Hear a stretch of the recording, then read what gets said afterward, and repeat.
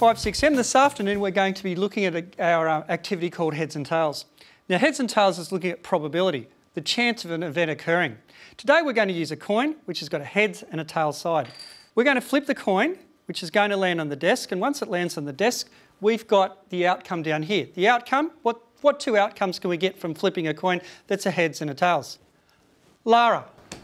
Heads or tails? Excellent. The two outcomes are heads or tails. Calais, can you just hit the drop box and show us where we've got a head or a tail? Now, for example, we throw the coin. Rochelle, throw the coin. It comes up as a? Tails. Tails. So, Calais clicks on tails, and that's our first one. If you look over the far side over here, you'll see that it's starting to tally. And how many have we got in tails? We've got one in tails and none in heads. Ready for the activity? We've got one person tossing the coin, the other person inputting the data.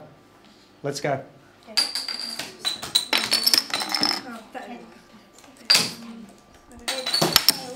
Tails.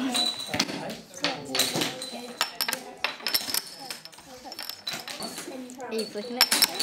Tails. Tails. Trying to. Tails. Heads.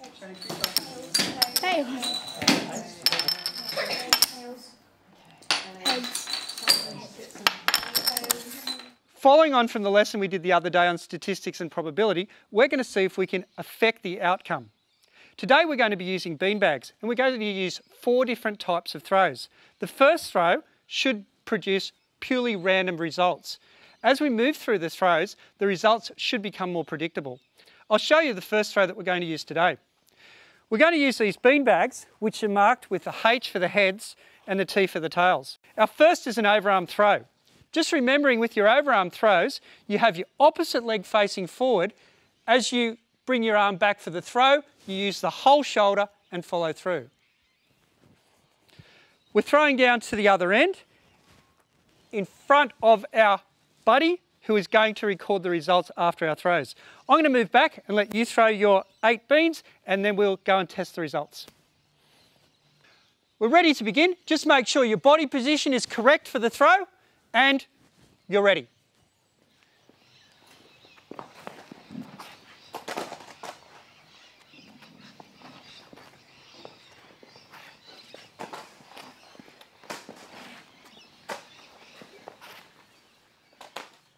Okay, that's nice accurate throwing.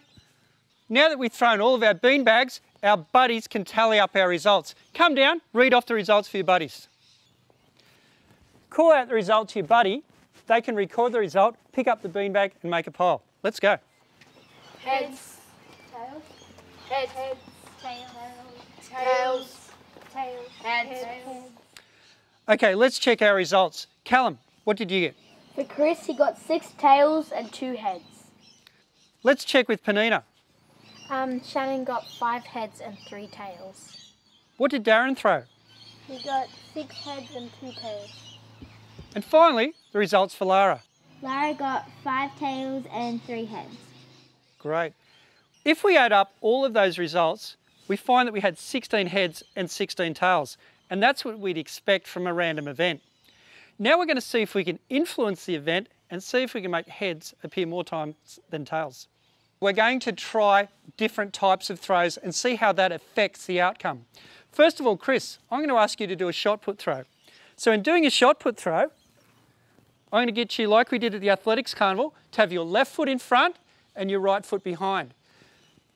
Counterbalance with the left arm, weight transference from the back leg, front leg, back leg, front leg. And on the third one, simply straighten your arm out and let the beanbag fly and we'll see the outcome up there. Shannon, I'm going to get you to do the one that we think we can predict the most, out, the best outcome for. I'm going to get you to do a frisbee throw. So you've got the beanbag in like this, you create a rotational force so it spins when it lands. And we're going to predict that every time we do it, it should end up as a head. I'm going to also get you to do that one, Darren, so we can look at predictability. Lara, we're going to do a discus throw, like you did at the carnival. Feet apart, weight transference from the back to the front. On the third one, we let that disc fly. Each of you understands the type of throw that you're meant to do. Let's use those throws and see if we can predict the outcome. Let's go.